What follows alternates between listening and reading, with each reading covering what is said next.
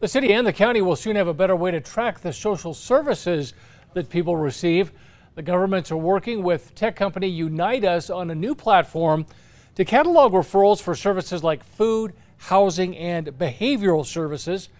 They hope the platform streamlines the process and cuts down on people getting the same referral twice. They hope to launch that system later this summer.